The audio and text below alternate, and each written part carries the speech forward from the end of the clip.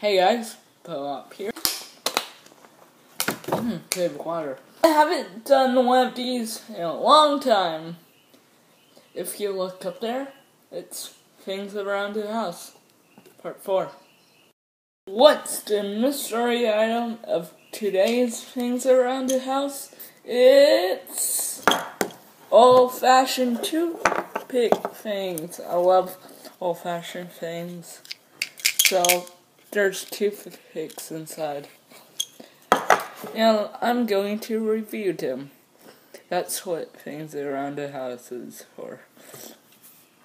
So here's a toothpick, right? You can um poke.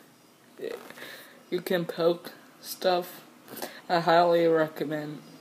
Uh, no, I highly.